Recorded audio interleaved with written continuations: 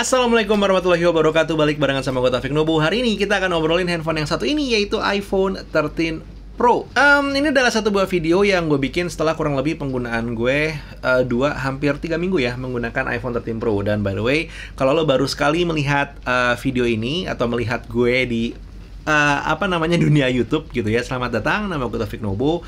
Biasa ngebahas teknologi, lifestyle yang berhubungan dengan teknologi dan juga sedikit asupan makanan kadang buat otak gitu ya. Tetap yang berhubungan atau diangkat dari teknologi. So if you're um, into that kind of stuff, silahkan klik tombol subscribe dan juga nyalakan notifikasi untuk semua aktivitas dari channel ini.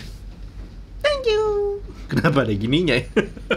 Oke, okay, iPhone 13 Pro adalah satu buah handphone yang menurut gue uh, pada dasarnya terbaik untuk kelasan Pro keluarannya Apple dibandingkan dengan seri-seri sebelumnya. Nggak heran kalau lo ngeliat beberapa Instagram stories dari toko-toko handphone yang ada di Jakarta atau ada di Indonesia lah gitu ya. Kebanyakan itu pada ngejual iPhone 13 Pro atau Pro Max sehari 3 sampai 5 barang gitu. Karena emang dia bisa dibilang semenarik itu gitu ya. Tapi gue tidak merubah statement yang pernah gue bikin di video unboxing gue. Kalau si iPhone 13 Pro ini adalah satu buah handphone yang akan gue gunakan untuk review lalu akan gue jual. Alasannya cukup simpel ya sebenarnya. Ada dua hal yang membuat gue uh, tidak bisa menjustifikasi pembelian iPhone 13 Pro ini untuk gue pakai sebagai daily driver.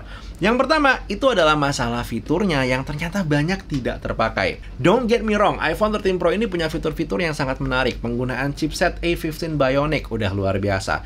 Layarnya Super Retina XDR display dan sudah support ProMotion 120 Hz. Lagi-lagi satu buah kemampuan yang luar biasa dan baru dikenalkan di iPhone 13 Pro series ini. Gak ketinggalan, kamera belakangnya punya improvement di main kamera, punya kamera tele yang juga sudah diimprove, ada kamera ultra wide angle yang juga bertindak sebagai makro kamera. Ini adalah satu buah peningkatan yang belum pernah ada di iPhone sebelumnya, yaitu mode makro. Dan ini adalah mode makro terbaik yang menurut gue hadir di handphone, ya baru hadirnya ada di iPhone ini. Gak ketinggalan untuk masalah perekaman video, si iPhone 13 Pro Series ini support satu buah kodek profesional yang disebut disebut ProRes.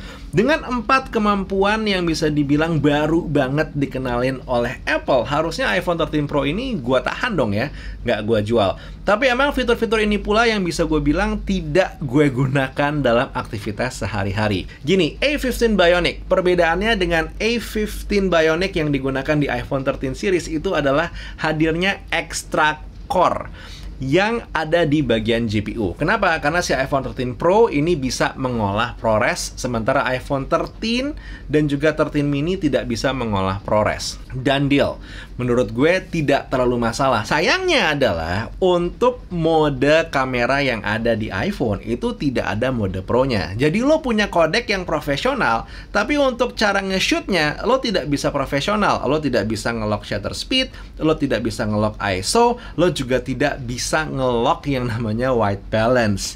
And guess what? Kalau lo nggak tahu tiga hal yang tadi gue omongin fungsinya apa, berarti mode ProRes juga sebenarnya tidak perlu lo gunakan. Lo pakai mode perekaman video biasa aja. Belum lagi untuk ukuran filenya ini luar biasa banget ya. Satu menit video ProRes 4K itu memakan storage 6 GB.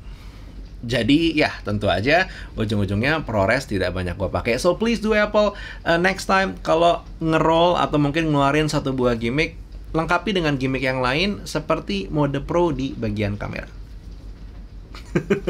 Fitur berikutnya yang emang menyenangkan tapi gue nggak pakai terlalu banyak itu adalah kameranya, tele dan juga makro.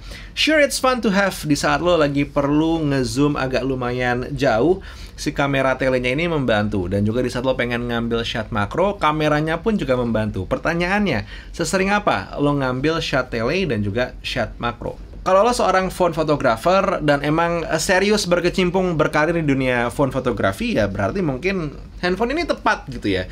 Tapi kalau lo adalah casual user seperti gue, gue jarang banget menggunakan 3 times zoom yang dimiliki sama si iPhone 13 Pro apalagi pakai mode makronya. Sesekali untuk ngambil foto iyalah, tapi itu pun konsepnya lebih ke coba-coba bukan yang sehari-hari gue gunakan.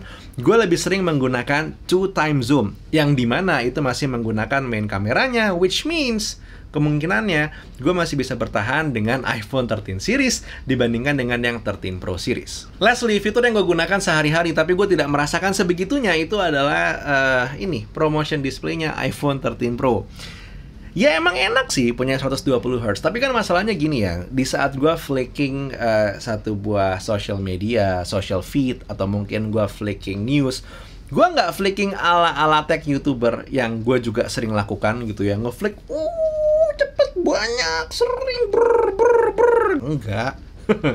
gue ngeflick satu-satu, gue liatin, kadang gue zoom gambarnya gitu kan, jadi nggak sebegitunya juga tuh si 120 Hz kepakainya gitu. Setidaknya itu yang gue rasakan ya. Kalaupun emang ternyata lo merasa oh flick ini penting buat flicking ini begitu segala macam, ya udah nggak apa-apa.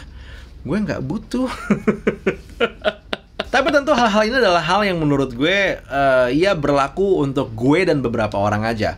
Mungkin seperti yang tadi gue bilang, kalau lo butuh kamera-kamera dengan lensa-lensa spesifiknya, sok monggo silahkan, nggak ada masalah. Lo tetap ngerasa ProRes is the key juga sok monggo silahkan. Atau mungkin lo ngerasa 120 Hz itu adalah esensial buat tahun 2021 sampai 2022 karena apa? Artinya screen kok hanya 60 Hz aja gitu ya. Sok monggo lagi-lagi silahkan toh duit-duit lo juga nggak usah jadi ribut gitu. Pun ada uh, menurut gue pribadi yang emang akan membuat gue kangen sama si iPhone 13 Pro ini. Itu adalah masalah baterai. Karena emang daya tahan baterai terbaik yang pernah gue rasakan di iPhone hadirnya selalu ada di Pro Series dan kali ini hadir di iPhone 13 Pro kalau gue lagi santai-santai aja casual using uh, satu buah handphone misalnya lagi liburan gitu ya itu bisa sampai dengan satu setengah hari gue nggak perlu ngecharge si iPhone 13 Pro ini masih bertahan.